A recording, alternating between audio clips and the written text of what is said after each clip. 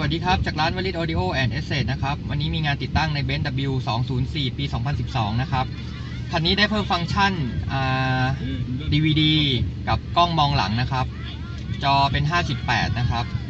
อันนี้ผมเข้าในโหมด AUX แล้วครับ เสียงเข้ามาในระบบเรียบร้อยแล้ว ผมจะไปในหน้า interface นะครับ กดลูกศร reverse แช่ไว้นะครับออันนี้หนังมันมืดไปนิดนึงนะครับ ผมจะกดไฮได e กดแช่ไว้เป็นการคอนโทรลนะครับ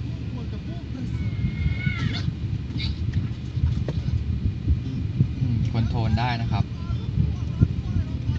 สามารถปรับวอลลุ่มได้จากที่พวงมาลัยเหมือนเดิมนะครับ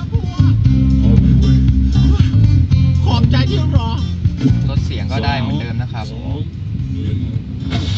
โทรดีๆกดหยุดมันไว้ได้นะครับ หรือว่าจะเป็นการเร่ง ไปข้างหน้า คูณ 2 คูณ 4 คูณ 8 เร่งไปครับ ก็มาเพย์สามารถคอนโทรลได้จากไฮไดร์ได้นะครับ แล้วจะเปลี่ยน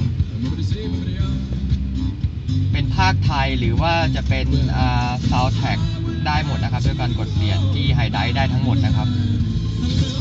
ขึ้นอยู่กับ DVD ด้วยนะครับว่ามีมี sub ไทยหรือเปล่า หรือว่าเป็นเป็นซาวด์แท็ก ครับ นี่ผมมาให้ดูกล้องหลังนะครับ เป็น auto ช้าๆเข้ามาเป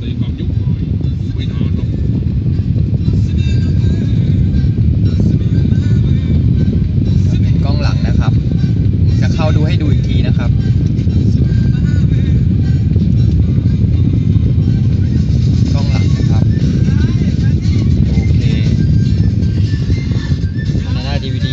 จะกลับมาในหน้า original ของฟังก์ชันนะครับ กดลูกศร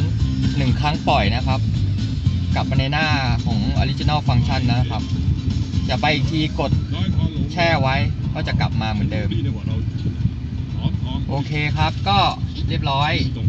ก็เป็นงานติดตั้งของร้านวริทธิ์ Audio and Accessory นะครับ เบอร์ติดต่อ 082 343 4332 ครับ ขอบคุณครับ